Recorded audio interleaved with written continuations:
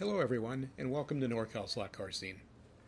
Every slot car racer who has ever attempted to make a slot car faster has added weight at some time in the tuning process. When placed properly, adding weight to a slot car can increase traction and improve handling, which in turn will lead to quicker lap times. The most often used weight is thin lead sheets that are cut to size to fit on the chassis and are easily found at any hobby shop that sells slot cars. In today's video, we are going to take a look at an alternative to lead, that being tungsten. For a given size, tungsten is 1.7 times heavier than lead.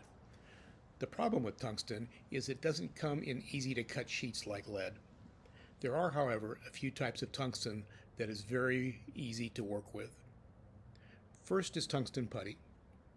Slot-it sells tungsten putty in 10 gram packages. Being a putty, it can be formed and placed on the chassis. Just take a pinch out of the package and place it where you want ballast. You can even roll it into a ball and place into areas that would be impossible for lead to fit into. There are other brands of tungsten putty on the market, but I know Slot-it is very firm and will hold its shape over time. I tried a cheaper brand of putty, and after sitting in my pit box for a week, the putty had run all over the chassis and into the pit box. If you are racing Slot-it cars, you know that the pod has a magnet installed for racing with clubs that use magnetic downforce. If you take the magnet out, you can add lead weight into the magnet pocket. Slot-it has developed a better solution. They make a tungsten weight that is the same shape as the magnet. It weighs 2.5 grams and is a direct replacement for the magnet. I used this weight in my last Slot-it Porsche 956 Group C build and the car was perfect without any additional balance. Plus, it makes for a super clean installation.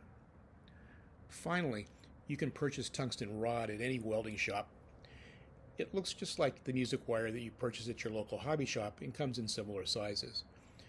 You can cut it to any length and then glue it to the chassis. The only problem with tungsten rod is that because it is very dense, you must use a diamond cutoff wheel in your rotary tool to cut it.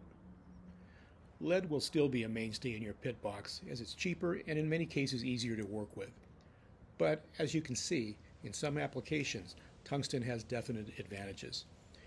It just gives you another tuning option to make your car faster and lower your lap times.